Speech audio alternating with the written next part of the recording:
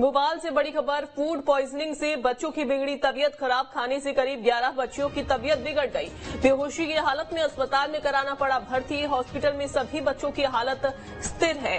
कमला नगर थाना के किशोर इकाई गृह का मामला है। किशोर इकाई गृह में करीब 35 बच्चे रहते थे।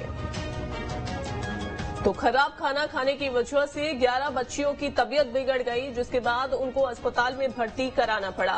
फ़ूड पॉइजनिंग से बच्चों की बिगड़ी है तबीयत।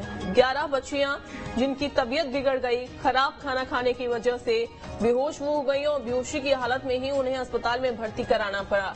हॉस्पिटल में सभी बच्चों की हालत फ़िलहाल स्थिर है।